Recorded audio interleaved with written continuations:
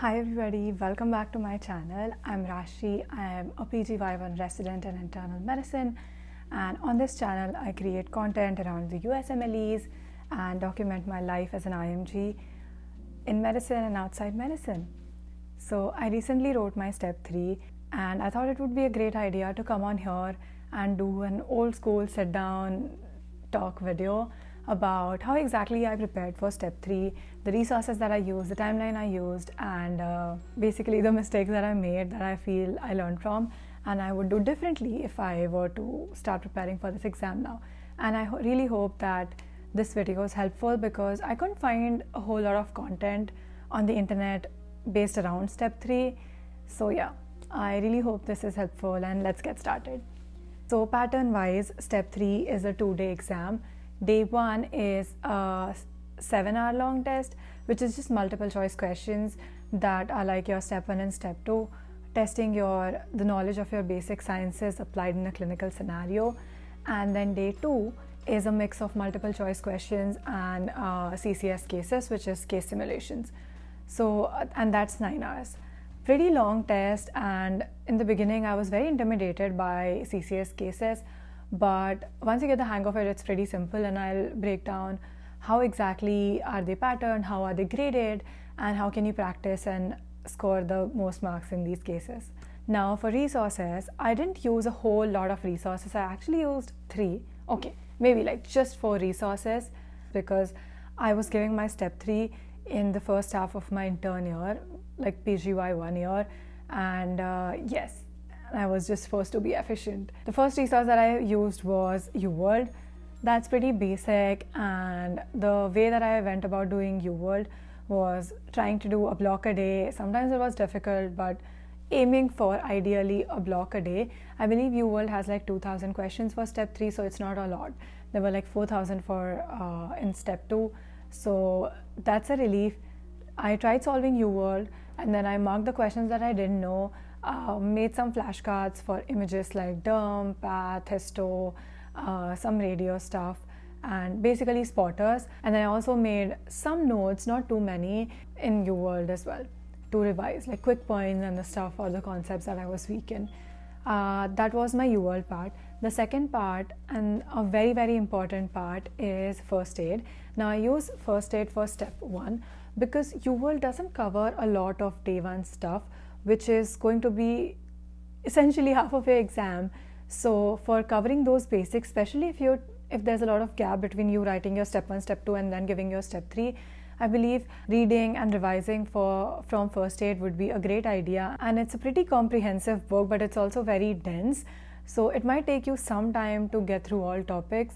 At least stuff that uh, I felt really was important and high yield was uh, pharma a lot of it that's tested heavily, micro stuff, those classifications of organisms, and then antimicrobials tying in with like micropharma both.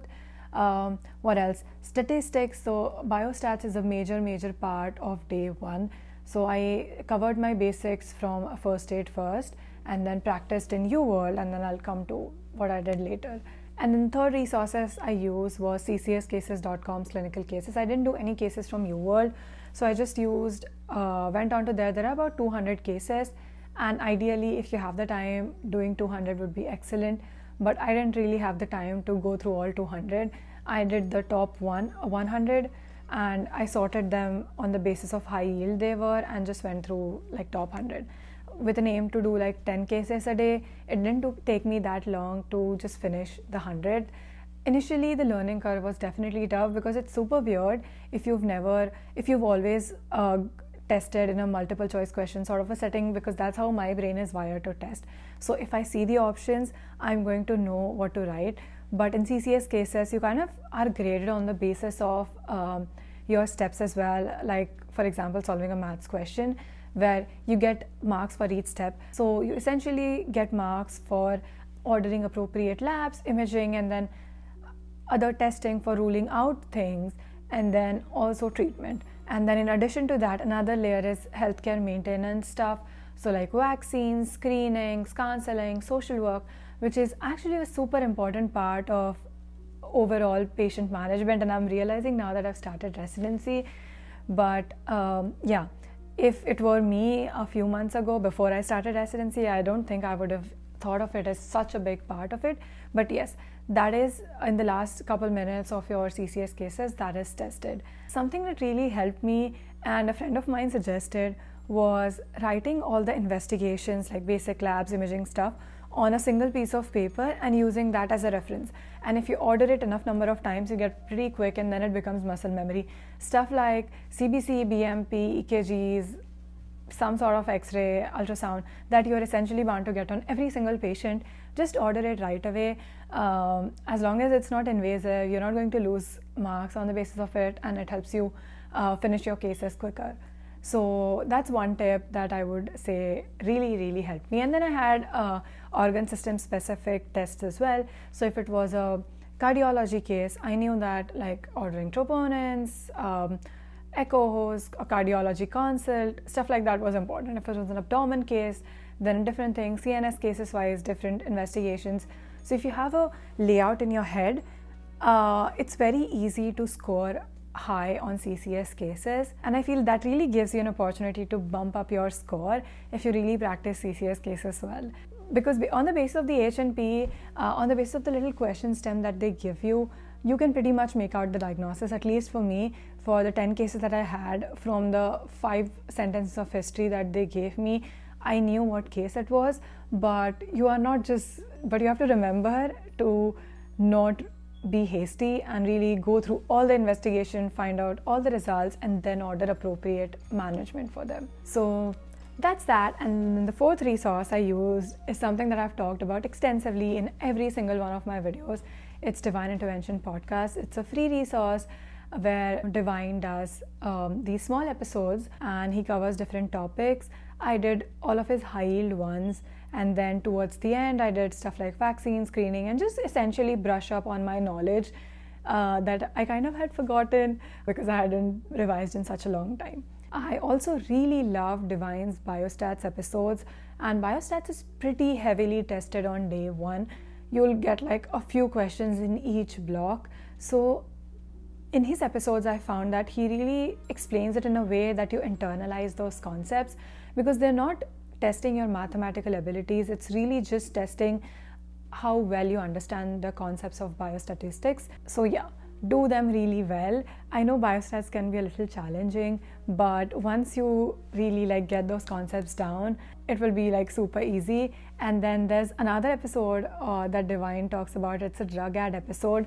So just go over it. It's a, I think it's a 10 minute episode, but the way he approaches drug ads was super helpful, and I think that really helped me get at least a few drug ad questions right since they're pretty lengthy. So those are the only resources that I used. Now for testing, I practiced, I gave one NBME and I did the two UWSAs. NBME was definitely closer to the real exam. UWSAs were kind of just similar to day two. And then NBME also has practice CCS cases, like a few, so you can go over them. Now, timeline wise, uh, it really depends on what stage of the journey you're on and what score you're aiming for.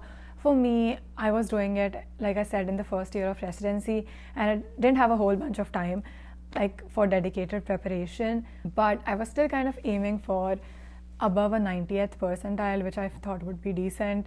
Uh, and it was doable. So ideally i would say three months two two and a half months of pre-dedicated and the rest dedicated. And one mistake that i did that i really wish that i hadn't done and had had i known better was giving my step three uh, in residency and not close to step two. So, had I given it closer to my step two, I would have already studied for the exam and then I would just have to do the CCS cases and just write the exam. It would have saved me months of preparation and just the extra stress of taking an exam with a full time job. Uh, other benefits of just giving step three even before you apply could be just a boost to your CV, and a possible improvement in your score if your step 2 score is kind of on the lower percentile for the specialty that you're applying to and just new visa opportunities as well so yeah i really hope this was helpful um, and if you have any more questions leave them in the comments. I'll try my best to answer them and all the very best for your step 3 then. Bye